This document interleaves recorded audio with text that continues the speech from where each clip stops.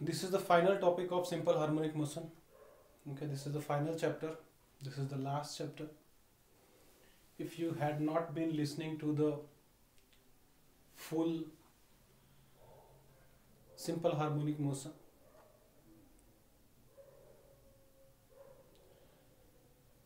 then I would recommend you to watch this last video at least. Okay? Just watch it full because it is the best topic. This is the best thing in science. Okay let's start the topic.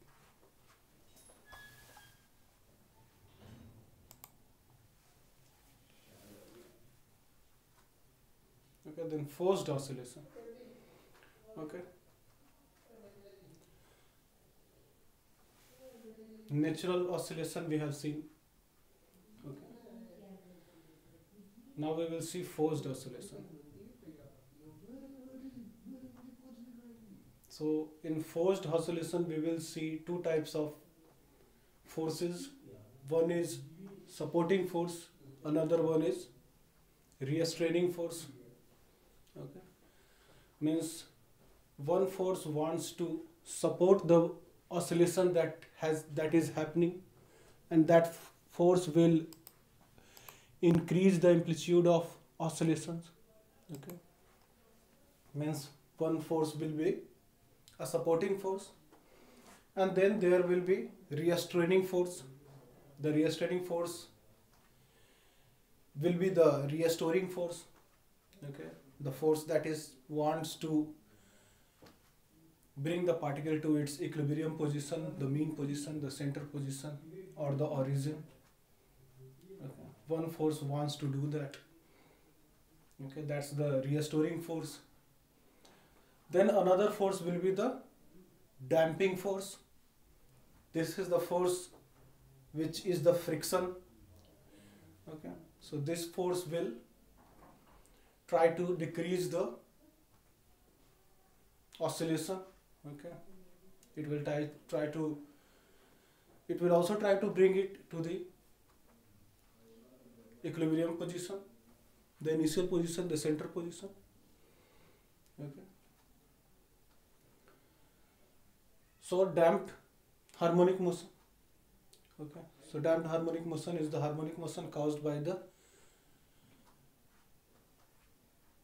caused by the first is the natural will always be there okay so natural oscillation will be happening. So omega n will be there and another the damping force will come into the action.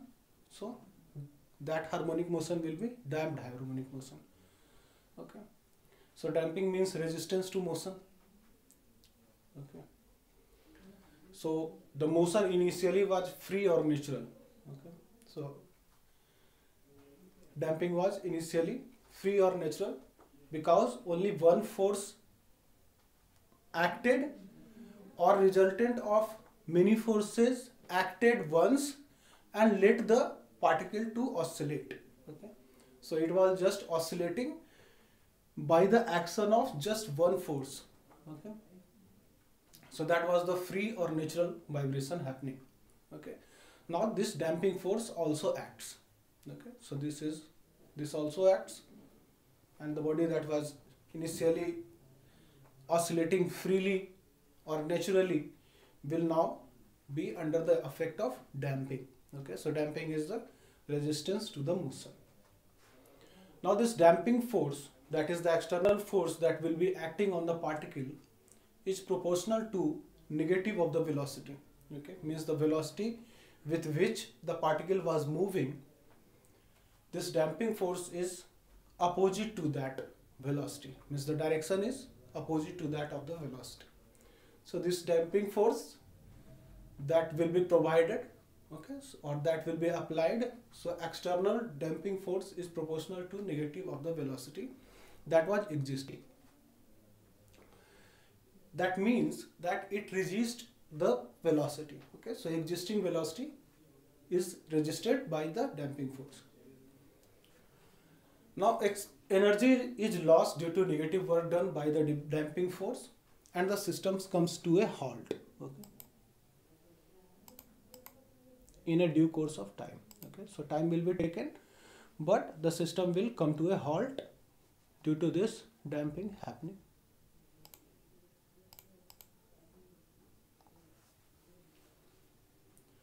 Now the damping force F is equal to minus of B into V okay. So b is the constant and v is the velocity with which the particle was moving.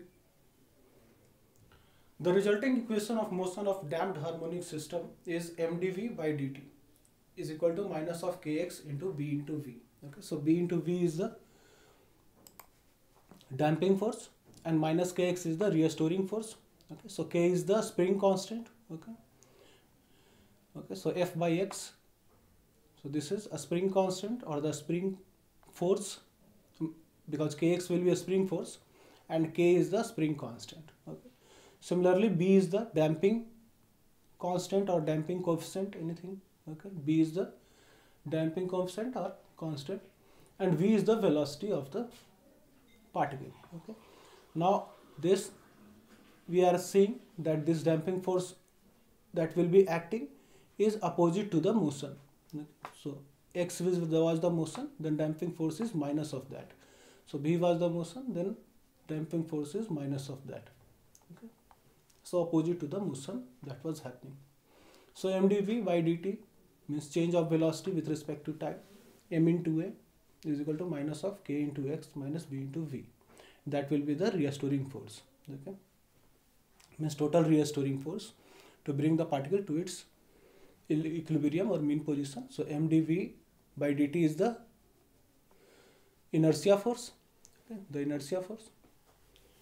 For a small damping, the solution is of the form x is equal to a naught into e to the power minus of b by t by 2m, b bt by 2m, okay. So a naught is the amplitude, so amplitude of linear oscillation, okay, b is the damping coefficient, T is the time, M is the mass of the system and sine is the function. Okay. So you know the sine function has a range of minus 1 to 1. So the particle will oscillate with the amplitude of A naught and minus A naught. Okay. Now delta is the phase difference. Okay. So phase difference. Phase difference means the position of the particle when time was equal to 0. So delta is the phase difference means the phase delta is the phase that for the time when motion started. Okay. So motion if I started at time t is equal to 0 then delta is that phase. Okay. So that angle or that angular displacement at time t is equal to 0. So delta is that value. Okay. Now angular frequency of damped system. Okay. So is equal to omega dash is equal to k by m minus b by 2m to the power whole square. So k by m is nothing but omega n square. So omega n is the angular frequency in radian per second. b by 2m is also radian per second.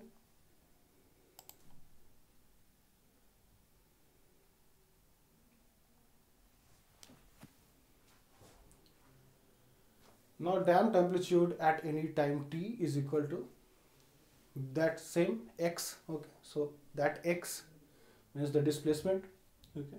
So x is equal at time t is equal to a naught into e to e to the power minus b into t by 2m okay. So b is the damping coefficient t is the time at which we are talking this about and m is the mass of the system okay. So this x value will be decreasing with time okay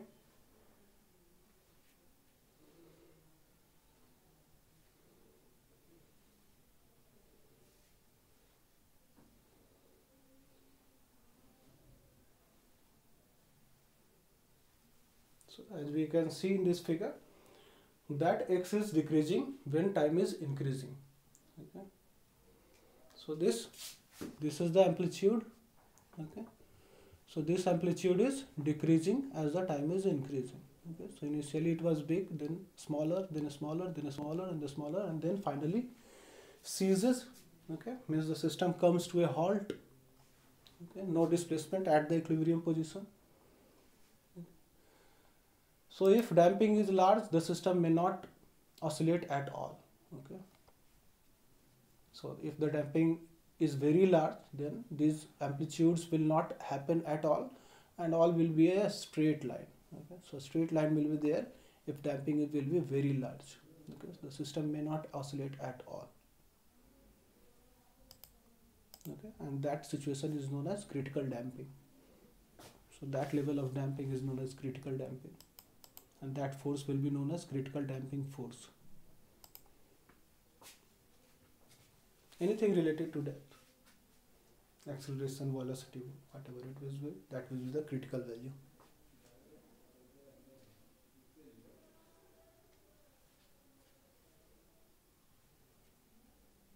Now forced oscillation and resonance okay? So negative forces we have seen that the system was under the action of negative forces only now the system has a friend also means it has a supporting force okay?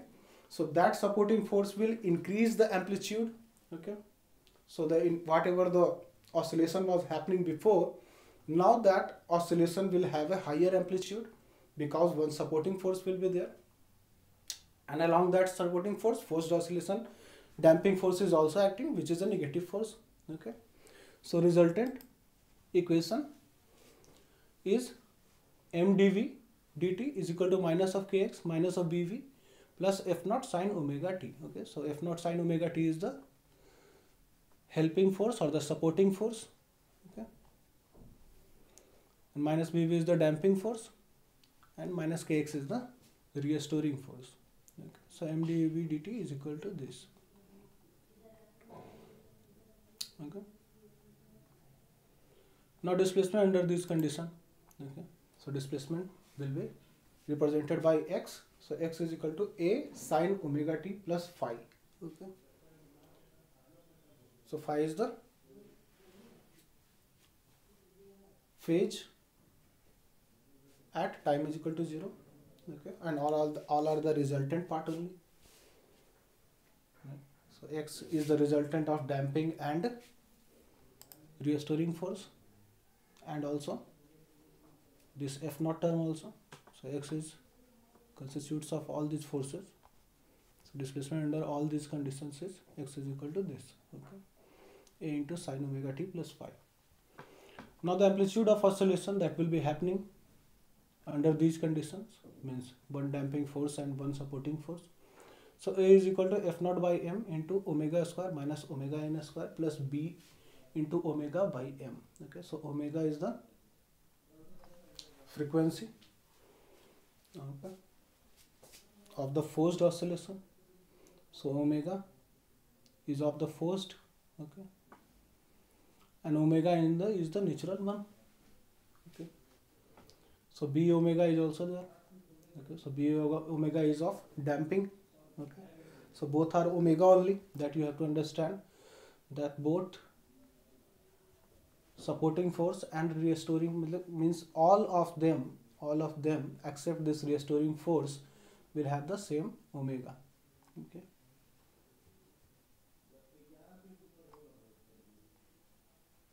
As per this as per this equation okay. So f naught by m under uh, by under root omega square minus omega n square to the power whole square plus b omega by m to the power whole square where b is the damping coefficient m is the mass of the system omega n is the natural frequency omega is the damped frequency. Okay. so omega n is the natural frequency in radian per second is equal to under root of k by m. So k is the spring constant m is the mass of the system kt is the torsional stiffness. Okay. So this is a spring constant and this is torsional stiffness. This is f by x and this is t by theta. So t is the torsion or torque and theta is the angular displacement. So t by theta is equal to kt and f by x is equal to k. So m is the mass and i is the moment of inertia. So mass moment of inertia. About the axis of rotation or whatever. Okay about the center.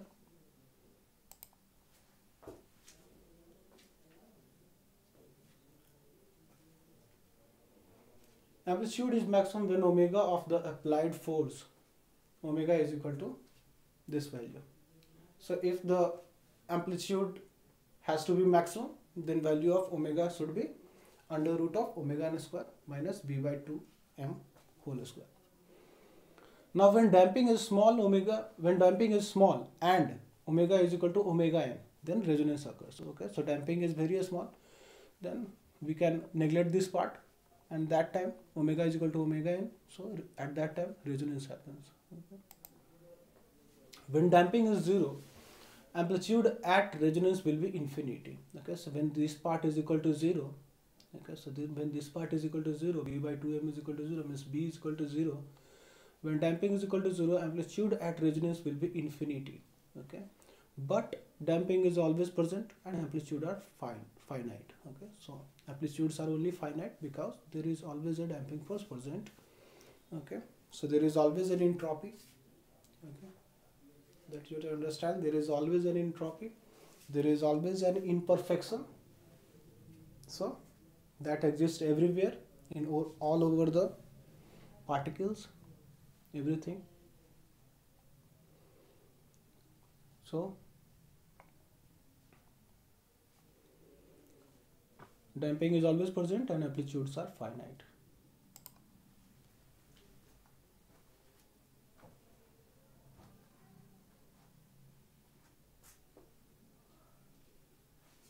So this is the figure for resonance. Okay so these are the two omega value uh, two omega value.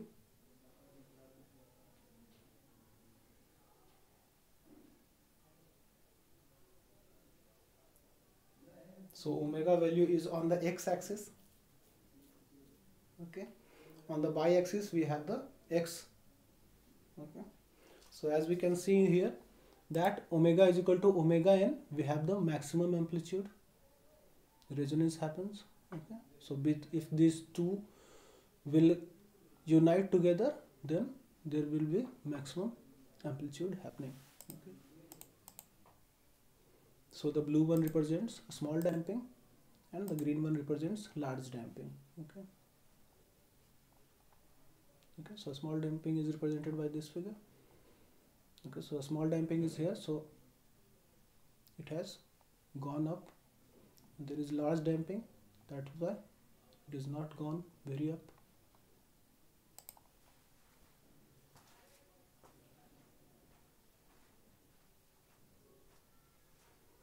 Now all that we learnt in SHM few things that were very important very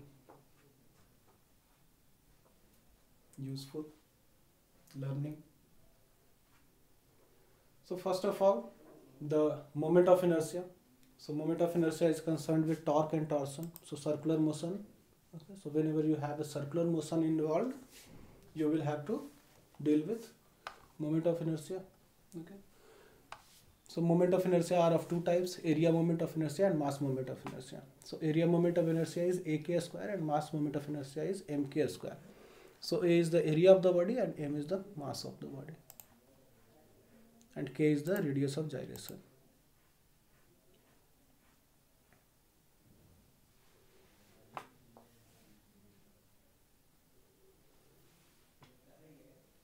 Now I in every angular motion is always analogous to mass in the linear motion. Okay. As I have said that in circular motion or angular motion okay so angular motion is a very correct word okay because angular motion whether motion is in elliptical form circular form linear form. So hsm uh, means harmonic forms. Okay. So angular motion. I in angular motion is always analogous to mass m in linear motion.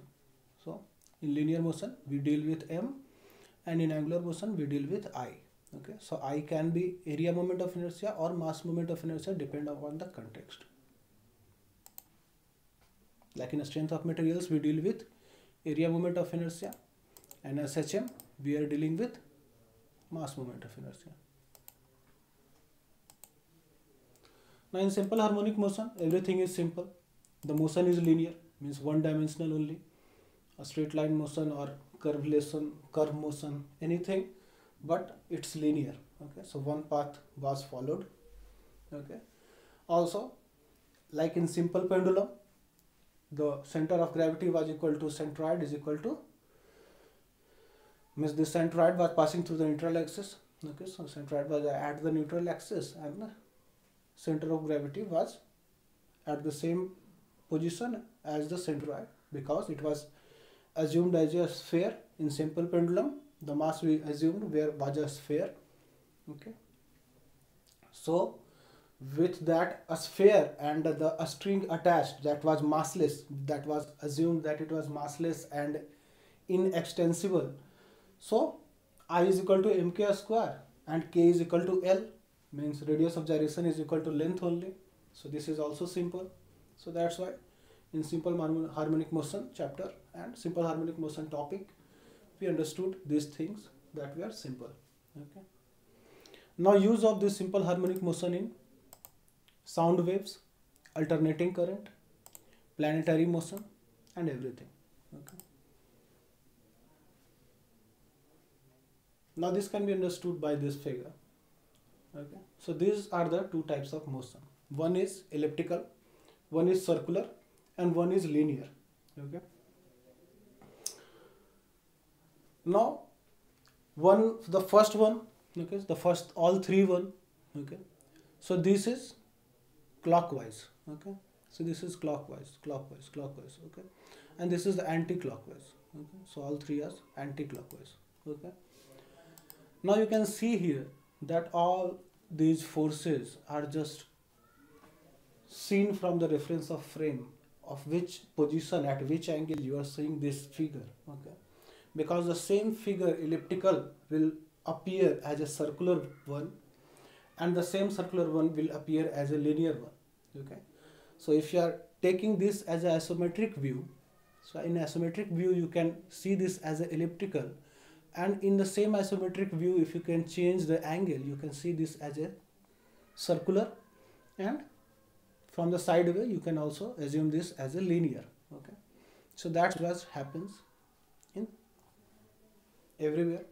Okay. Whenever you see the periodic motions simple harmonic motions then you see these kind of curves okay.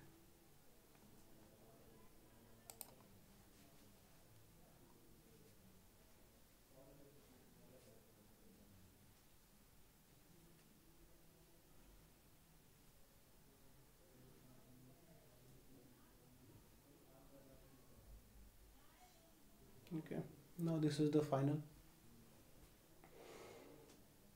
Then nothing could be said because he is the greatest person ever lived. Okay. Everyone who has studied science or had have studied about him because everything of today runs due to only his effort only his. So nothing matters. All have great done the great things. Okay. All people have done great. And uh, he was just admired by a lot of people. Okay. And still and will always be admired by a lot of people. Because that story you also know. My friend told me that that a story this a story my friend. He told me that. Once einstein was asked how to be the smartest person in the world then he just told that i don't know. Ask tesla. Okay. so that's the person he was and he told that if you want to find the secrets of the universe think in terms of energy frequency and vibration. Okay. So thank you